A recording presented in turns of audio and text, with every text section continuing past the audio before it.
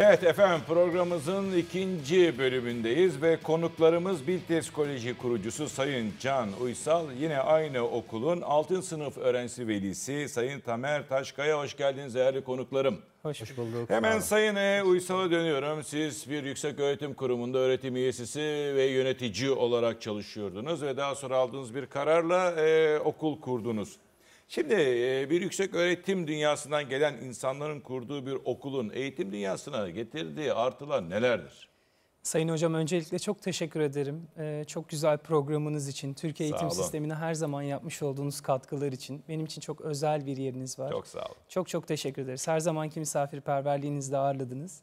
Söylemiş olduğunuz gibi öğretim görevlisi olarak öğrencinin yüksek öğretimdeki davranışlarını bizzat inceleme fırsatımız oluyor. Dolayısıyla hem etik anlamda hem akademik anlamda neler, nerelerde eksikleri var, nereleri doğru yapılıyor, nereler eksik yapılıyor bunu gördük ve bir değişimin gerekli olduğunu, bir değişimin şart olduğunu düşündük. Sayın Mütevelliyet Başkanımız Levent Uysal'la birlikte kendisine de buradan selam gönderiyorum. Evet. Bize saygılarımızı Şahsına iletelim. münasır çok özel bir insan. Ee, bu, bu çerçevede bir kolej kurmaya karar verdik. En doğrusunu nasıl yaparız diye yola çıktık. Bunun okul öncesi eğitimden başlaması gerektiğine karar verdik. Yüksek öğretim bunun son basamağı. Daha doğrusu lisansüstü ve e, doktoraya hazırlık aşaması. Ama bunun okul öncesinden gelmesi gerektiğine inandık. Peki Sayın Uysal şimdi burada olaya girelim. Bizim aramızdaki ilişkiler tabii son derece e, eski yıllara dayanan bir olay. Biz abi kardeş ilişkisi götürüyoruz ama programı gereğince tabii ki ben sayın kelimesini kullanıyorum ama dışarıda kardeşim Can diyorum ya da kardeşim Levent diyorum ama sayın Uysal kardeşlere e, konumum gereğince bu kelimeyi kullanmam gerekiyor. Şimdi buradan şuraya gireceğim. Ne gördünüz de e, seçtiniz? Yani böyle bir o, olaya gittiniz. Size gelen öğrencide ne eksiklikler var? Sayın Hocam, e, ben bir akademisyen çocuğuyum. Öncelikle e, merhum babamızın, babamızın adına kurmuş olduğumuz bir üniversitemiz Evet. var. Değerli babacığınızı saygıyla anıyoruz burada. Çok teşekkür ederiz. Bir profesörün bizim evimize gelmesi çok ama çok özel bir e, Bizim gündü. için öyledir.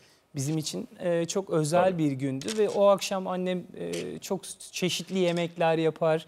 Bizler apartmanın girişinden sayın hocamızı alır abimle beraber, akrabalarımızla Evet. beraber ve onun sohbetini dinlemek için can atardık. Ve çok önemliydi. Ancak şimdi görüyorum ki üniversitemizde sadece kendi üniversitemizde değil. Bildiğiniz gibi ben e, devlet üniversitelerinde Hangisinde? de misafir, Yıldız Teknik Üniversitesi'nde de misafir öğretim görevlisi olarak derslere giriyorum ders, e, ders saati ücretli olarak. E, Burada e, farkına vardığım şey şu oldu. Çok değerli hocalarımızla birlikte okul bahçesinde yürürken e, yine değerli öğrencilerimizin maalesef e, yeteri kadar adapta bulunmayarak birbirlerine yüksek sesle ve çok e, ağzı alınmayacak sözler söylediğini duyduğumda ben çok üzülmüştüm, çok kırılmıştım. E, O gün özellikle abimle bu e, kararı aldık. Dedim ki ya bazı şeylerin değişmesi gerekiyor Türkiye'de. Etik anlamda da değişmesi gerekiyor. Aynı şeyi derslerde de görüyoruz maalesef. Tüm öğrencilerimizi temiz, e, e, kastetmiyorum. Sakın yanlış anlaşılmasın ama genel anlamda bir e, etik anlamda bir bozulma hissediyoruz ve bunu doğru değiştirmemiz gerekiyor. Akademik anlamda yine aynı şekilde yüksek öğretime gelmiş öğrencilerin e, ben mesleki matematik dersleri veriyorum, ticari hesap, istatistik dersleri. Yani çok üzülerek söylüyorum ama matematik altyapılarının çok yetersiz olduğunu gördüğüm için e, biraz da bu tetikleyen noktalar oldu Sayın Şimdi Hocam. bu nokta seni tetikledi, sizleri Evet, tetikledi. evet. Tamam da burada ben açık söyleyeyim gençleri kesinlikle yargılamam. Siz ne ekerseniz onu biçersiniz. Bu da demek ki bizim eğitim sistemimizde bazı eksiklikler var. Zamanla olacak. O zaman buradan Sayın Nabi Avcı'nın söylediği bir yola gelelim. Öğretmen, öğretmen, öğretmen. Öğretmen akademileri kuruluyor. Bu konuda ne diyorsun? Ben Sayın Bakanımızı tebrik ediyorum. Ee, bu projeyi yakından takip ediyorum. Olmazsa olmazı. Nasıl bu ülkenin polis akademileri, e, ordusu, harp akademileri doğru eğitimler vererek doğru asker, doğru polis yetiştirmeye çalışıyorsa öğretmenlerin de birinci derecede bunda sorumlulukları var. Bence öğretmenler çok daha önemli. Eğitim çok çok daha önemli. Burada bir şey, bir parantez açalım yani. Bu Burada akademinin oluşması gerekiyor Sayın Hocam. Onlar da eksik yetişiyorlar. Kesinlikle, Ha, oraya girelim. kesinlikle. Eğitim fakültelerinin çok daha e, etkin öğretmen yetiştirebilmesi için bu akademiye çok çok çok büyük ihtiyaç var. Sayın Bakanımızı kutluyorum her zamanki gibi. Hep söylüyorum kendisine olabildiğince destek vermeye çalışırız. Kendisi de genç yaşımda olmama rağmen birkaç kere e, dinleme e, tevazusu gösterdi. Sevgili Uysal, benim kulağıma gelen küçük bir söylenti var. Sizin de özel öğretmen akademisi kurma düşünceniz var mı? Kesinlikle var. Nişantaşı Üniversitesi ile birlikte okulumuzun ortak bir çalışmasıdır bu. Mutlaka ve mutlaka öğretmenlerimizin kendilerini sürekli her daim geliştirmelerini istiyoruz. Sizin de söylemiş olduğunuz gibi bir okulun en önemli parçası öğretmeni, öğretmeni, öğretmeni. Peki. Size gelelim hemen Sayın Taşkaya. Siz e, teoride söylüyorlar bunu. Sizin çocuğunuz pratikte. Evet. Bu tip e, bir yüksek öğretimden gelen kişilerin kurduğu bir okula bir farklılık hissediyor musunuz? Kesinlikle hissediyorum. önce ben bir şey soracağım. Siz önceden birbirinizi tanıyor muydunuz? Hayır hayır kesinlikle tanımıyoruz. Peki. Buyurun, Kesinlikle dinliyorum tanımıyoruz. Bir akrabalığımız da yoktu. Tamam. Ee, bir kere eğitimin içinden gelmeleri ve üniversitede e, tecrübeleri olmalarından dolayı yani böyle bir işe girmeleri bizi açıkçası cezbetti. Ee, artı Can Bey'in bir konuşması bizi tam 12'den vurdu. Ee, biz hem büyüklerine saygılı, gelenek göreneklerine, ananelerine bağlı, bayramda, seyranda annesinin babasının elini öpecek Çok önemli. bir yere gittiğinde helallik isteyecek, hayır duası alacak.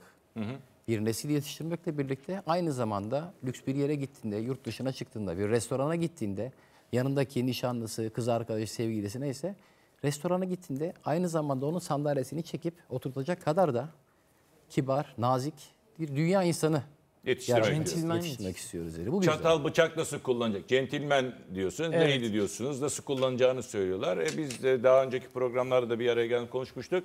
E biz de Galatasaray İlkokul 4-5'te bunları gördük Evet. yani. Peki buradan şuraya gideceğim. Şimdi beyefendi okul seçerken bundan etkilenmiş. Peki şu anda bizi izleyen veliler özel okul seçerken nelere dikkat etmesi lazım? Kesinlikle ve kesinlikle kolejli olma olgusu Sayın Hocam. Sizin de belirttiğiniz gibi. Bu okul, özel okulların hepsi tabii ki hassastır Evet. seçimler konusunda. Veliler daha da hassaslar ve biz bunu son derece anlayışla karşılıyoruz. Kolejli olma olgusu çok değerli Sayın Hocam. Yani verdiğiniz okulun yabancı dil eğitiminin ne kadar etkin olduğunu. Yabancı dilden kastım artık İngilizce. Ee, özellikle İngilizcesinin çok çok iyi olması gerekiyor. Bir dünya insanı olabilmesi için çok iyi İngilizce bilmeli. Kolejli olabilmesi için nerede nasıl davranacağını, çatalı bıçağı nasıl kullanacağından ziyade nasıl yürüyecek, e, neyi nasıl hareket edecek, nasıl oturacak, nasıl kalkacak, eşinin sandalyesini biraz önce Sayın Velimizin Tamer Bey'in Ülkesinin söylediği örf gibi adetlerine nasıl saygı nasıl gösterecek? saygı gösterecek? Bunlar Bunların şeyler. hepsini bilen kolejli kolejli ka- kavramını tekrar oluşturmak istiyoruz. Değiştirmek istediğimiz şeylerden bir tanesi bu Türkiye'de. Zaten devlet okullarına da geliyor görgü kuralları. Kesinlikle Ya gelmeli. bu çok önemli bir olay.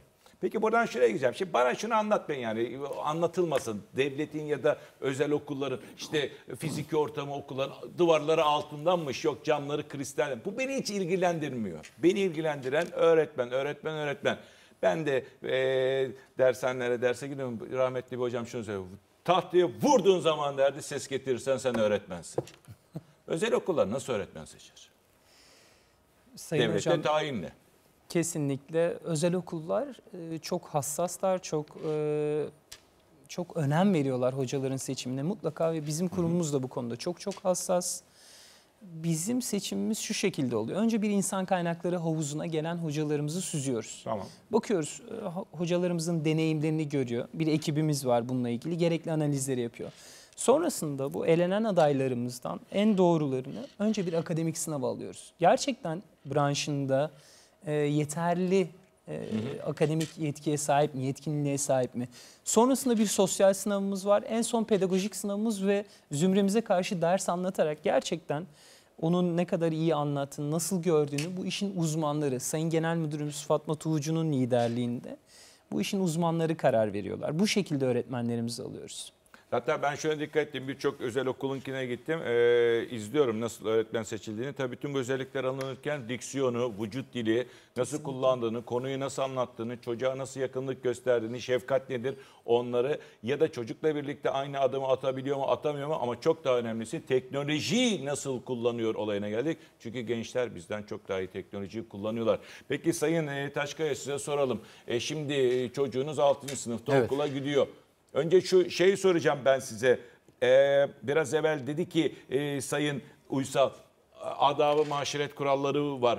Çocuğunuzda bunu hissediyor musunuz? Böyle bir şey var mı? Ne, ne, var mı bir örnek var, mı? Var. Yani çok yakın zamanda bundan birkaç gün önce akşam yemeğinde sofrada oturuyorum yemek yiyorum. Kollarım şu şekilde duruyordu. Yanımda oturuyor. Baba dedi. Efendim oğlum dedi. çok yanlış bir hareket yapıyorsun. Ne yapıyorum oğlum dedi. Dirsekler dedi masanın üzerine konmaz. Ne olur dedi. Bu şekilde durması lazım dedi. Oğlum dedim nereden öğreniyorsun sen bunları? E, okulda gösteriyorlar baba dedi.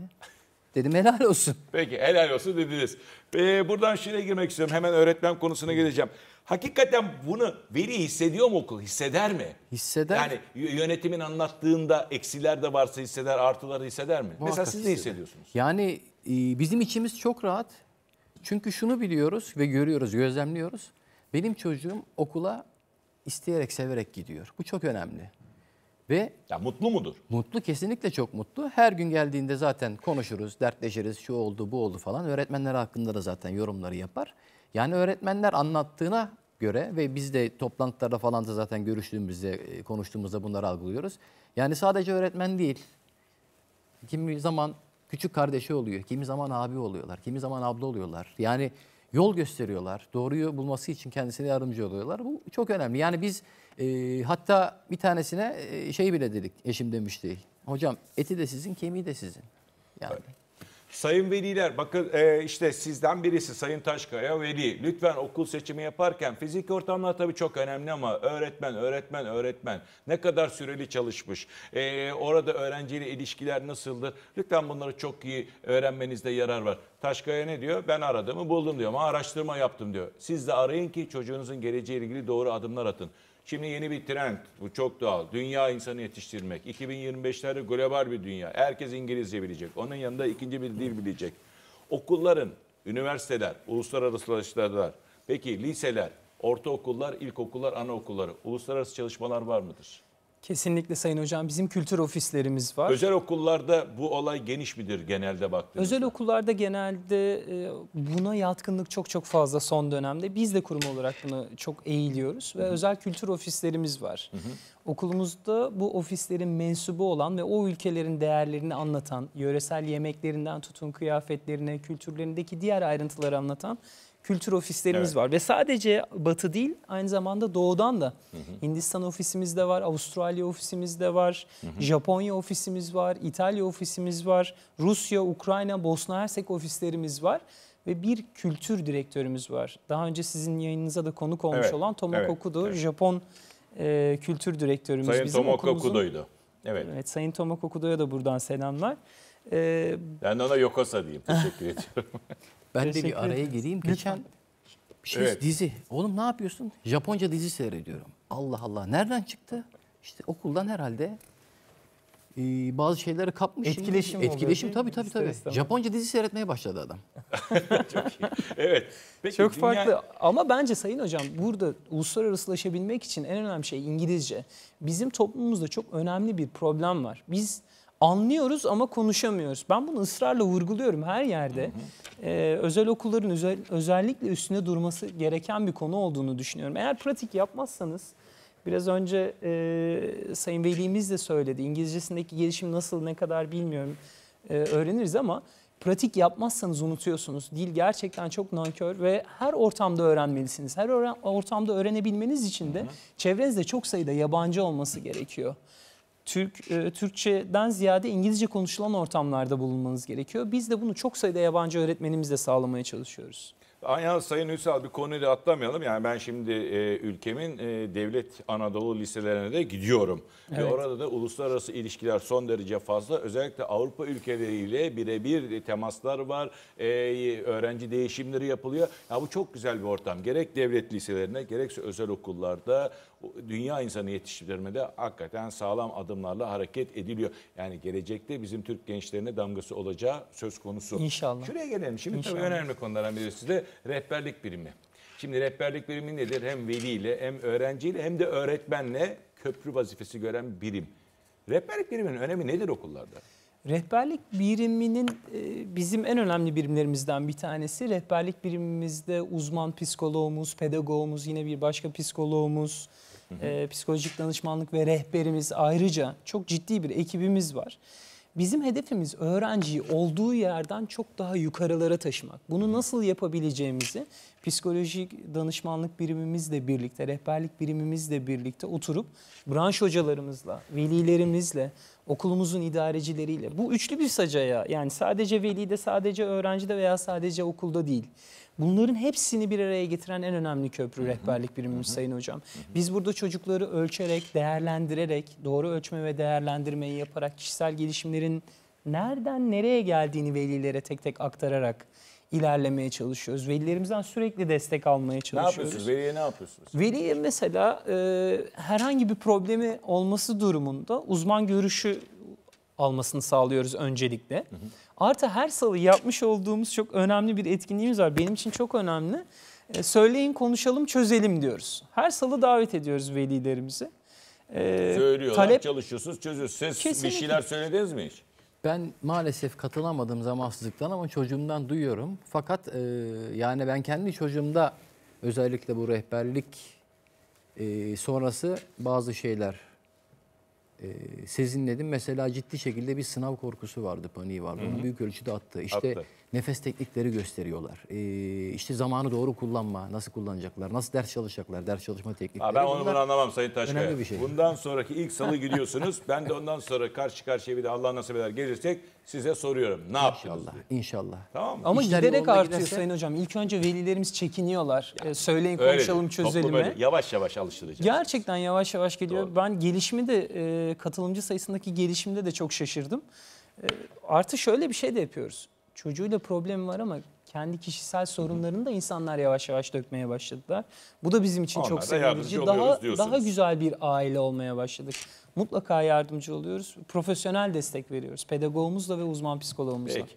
Efendim tabii bu sırada e, devlet Anadolu liselerinde de rehberlik birimleri tam olarak çalışıyorlar. Özellikle bu yıldan itibaren dershanelerin kalkmasıyla birlikte devlet okullarımızda da rehber öğretmenler, okul yöneticileri ve öğretmenleri çocuklarını üniversite hazırlamak için orta, e, Ortaokullarda ise e, liselere giriş için ellerindeki imkanları en iyi şekilde değerlendiriyorlar. Aman şunu sakın unutmayın. Bu sene Milli Eğitim'in aldığı kararla devlet lisesinde liselerindeki rehber öğretmenlerden e, gruplar kurulacak ve tercih konusunda bütün öğrencilere yardımcı olacak. Bu konuda rahat etsin. Süre çok azalıyor ama hemen şuraya gireceğim.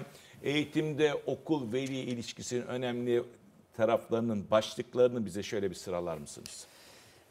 Bence en önemli başlık aile olabilmek. Çünkü velimiz bize en değerlisini emanet ediyor Sayın Hocam. Yani e, evindeki en değerli varlığı, yaşamının en önemli parçasını veriyor. Biz de ona ailesi gibi bakmak zorundayız. Tıpkı ailesinin ona baktığı gibi bakmak zorundayız. Velilerimizle sürekli e, iletişim içerisindeyiz. Bunun için özel bir application'ımız da var. E, kurumumuzun application'ını indirebiliyorlar smartphone'larından. Bunu söylememde sakınca var mı bilmiyorum ama çok e, tecrübe Evet. tecrübe, tec- tecrübesizim bu anlamda. Ee, smartfonlarından indirebiliyorlar ve velinin her an güncel olarak öğrenciyle ilgili bilgi almasını sağlıyoruz. Bu sadece notlarıyla ilgili değil. Kurumda olan gerçekleşen aktivitelerin tamamı ileti olarak ve SMS olarak kendileriyle paylaşılıyor bu application üzerinden. Ee, dolayısıyla sürekli yan yanayız ve biz bir aileyiz. Peki. Efendim programın sonuna geldik.